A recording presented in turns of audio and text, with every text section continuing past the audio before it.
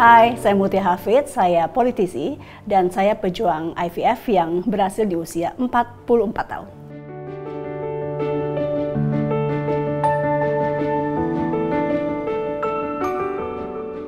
Program hamil yang aku jalani cukup panjang ya. Totalnya itu dari tahun 2015 program hamil aku cukup uh, panjang dan beragam yang uh, apa metode-metode yang kita coba gunakan sama suami. Dan kita udah tujuh tahun jadi mulai dari yang tradisional uh, uh, medis dan lain-lain. Sampai akhirnya kita memutuskan untuk bayi tabung. Nggak langsung berhasil jadi beberapa kali gagal. Kalau di total mungkin ada 10 kali ya saya coba bayi tabung gitu. Dan uh, sempat berhasil tapi keguguran dua kali sebelum itu juga uh, menjalani operasi supaya katanya supaya uh, proses bayi tabungnya lebih baik. Jadi uh, tuba saya diangkat keduanya.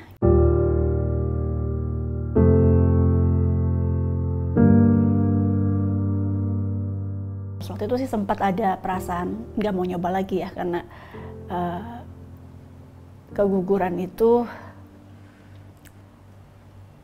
waktu keguguran itu saya tuh ngerasanya kayak uh, oh ya udah mungkin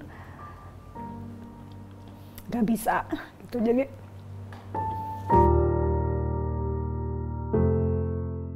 waktu itu saya sempat hamil dengan uh, dua janin. Jadi udah kebayang punya anak kembar gitu ya. Sampai akhirnya di mendekati tiga bulan keguguran juga gitu. Jadi jadi waktu keguguran itu saya sempat ngerasa bahwa oh mungkin emang um, takdirnya nggak bisa gitu. Jadi bingung kan kita antara berusaha terus uh, dan kapan berhenti itu sih mostly pertanyaan yang waktu itu saya rasakan. Kapan sih kita tahu untuk jalan terus? Kapan sih kita uh, rasa cukup?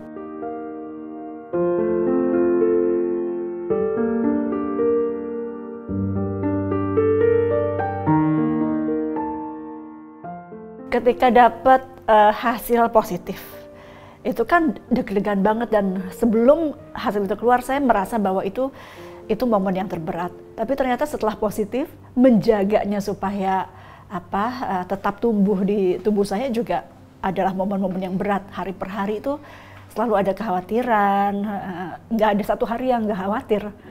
Uh, ketika ada flex sedikit misalnya yang bagi orang mungkin normal tapi bagi uh, saya yang pernah keguguran dua kali itu menakutkan gitu loh. Jadi uh, tiap hari saya berusaha meyakinkan dan menguatkan diri uh, dan sempat beberapa kali uh, flag ya karena usia dan saya juga tetap berkegiatan karena saya pikir kalau saya nggak kerja malah lebih stres. Dan dokter selalu bilang bahwa yang paling utama kamunya nggak boleh stres gitu. Jadi uh, saya tetap kerja karena uh, membantu saya untuk menguatkan diri saya gitu.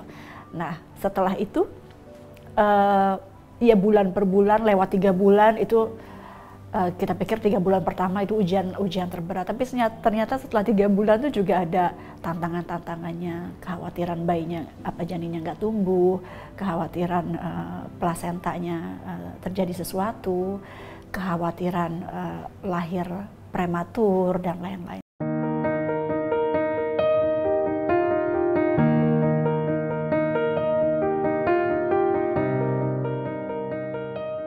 saya udah nyiapin nih untuk kelahiran. Saya akan baca dua minggu sebelum saya lahiran. Ternyata maju dua minggu. Jadi waktu melahirkan tuh saya benar-benar nggak uh, belum prepared bagi saya. Saya orangnya sangat apa ya, sangat mempersiapkan uh, diri gitu. Jadi ketika nggak mempersiapkan tuh jadi agak-agak pede gitu. Jadi pas melahirkan tuh saya agak gagap. Nah tapi itulah indahnya dan uh, seninya uh, apa namanya kehamilan melahirkan karena kita benar-benar nggak bisa 100% memprediksi kan sepenuhnya di tangan uh, Tuhan kapan dia mau lahir dan lain-lain. Tiba-tiba maju dua minggu sampai jam 9 belum ada pembukaan. Akhirnya uh, tim dokter mengatakan ibu di sesar saja karena air ketubanya sudah banyak keluar. Uh, kita ikut aja. Jadi kita memang percayakan sepenuhnya. Plus saya juga apa ya, uh, saya merasa sangat awam. Akhirnya uh, mau masuk ke ruang bedah itu di screening dulu ini kan lagi covid ya jadi dites dulu PCR tiba-tiba suami saya ternyata positif covid jadi sudah ya gak ada orang tua saya suami saya juga tidak boleh mendampingi. Jadi saya masuk ke ruang uh, operasi awalnya sendirian, lalu kakak saya menyusul. Kakak saya kebetulan sudah ada apa dia baru baru tes COVID saat sebelumnya dan negatif jadi bisa mendampingi saya. Jadi ketika keluar dengar nangisannya yang keras banget, saya udah aduh syukur alhamdulillah saya udah langsung lega gitu. Paling tidak oh uh, dia nangis dengan dengan tenaga yang kuat gitu. Jadi itu perasaannya luar biasa dengar dia nangis terus semuanya tuh kayak cepet gitu ya. Tiba-tiba udah ada ditaruh di samping saya dan ditaruh di dada saya untuk uh, inisiasi menyusui.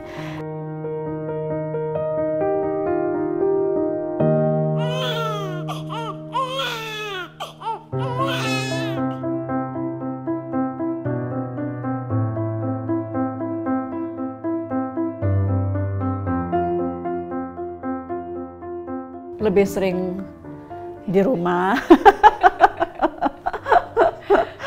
Artinya saya tetap semaksimal mungkin tetap uh, menjalankan peran saya di DPR sebagai politisi, sebagai ketua komisi yang uh, apa namanya ada hal-hal yang nggak bisa ditinggal. Jadi yang beda mungkin lebih pengaturan jadwalnya karena Liora tuh uh, tadi saya sampaikan asli eksklusif dan setiap dua jam anaknya rajin.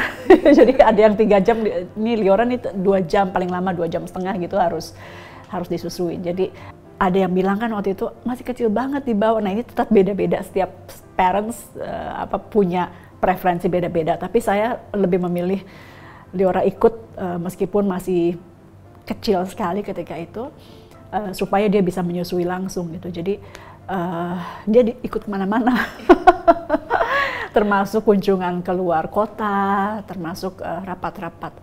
Kalau rapatnya panjang, apalagi dia ikut ke DPR gitu. Nggak tidur menjadi new normal ya.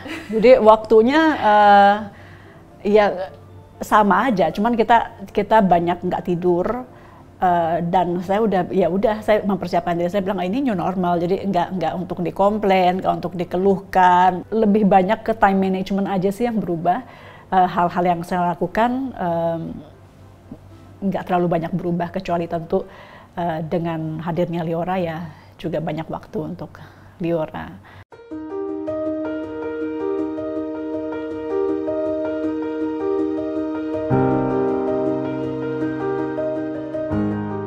Iya perasaan itu kadang datang dan pergi bahwa saya mau lebih banyak waktu dengan Liora pastilah semua ibu seperti itu. Tapi saya ingetin diri saya bahwa I come as one package. Jadi saya sebagai ibunya Liora mamanya Liora saya sebagai politisi itu satu hal uh, satu kesatuan. Dan sebagai uh, ibu rumah tangga ya suami uh, istri dari suami saya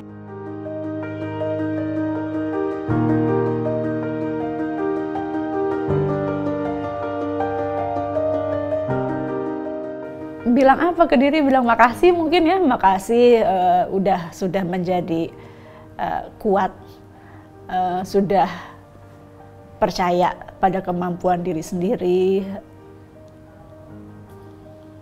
sudah mau berusaha. Itu uh, aku juga mau sampaikan ke teman-teman perempuan yang saat ini sedang berjuang untuk punya anak punya belahan jiwa gitu ya. Uh, bagi saya itu yang penting berjuang. Ini juga yang saya sampaikan ke diri saya waktu sedang program ya.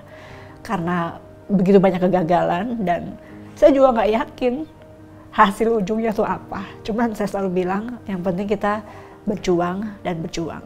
Itu aja udah membuat kita sebagai seorang uh, ibu yang apa memperjuangkan anaknya gitu ya. Meskipun anak itu mungkin uh, apa belum diberikan dalam bentuk anak kepercayaannya oleh Allah, tapi yang penting kita memperjuangkan itu, itu sudah membuat saya merasa waktu itu uh, sebagai ibu. Jadi mudah-mudahan ini air matanya bahagia kok, bukan bukan air mata sedih. Jadi saya itu justru ingin memberikan semangat buat teman-teman dan ketika saya bilang bahwa ini berat itu supaya uh, teman-teman uh, kuat dari awal gitu ya. Jadi untuk persiapan saya jelaskan bahwa ini memang berat tapi it's all worthwhile di akhirnya pasti um, apa uh, insya Allah akan menyenangkan.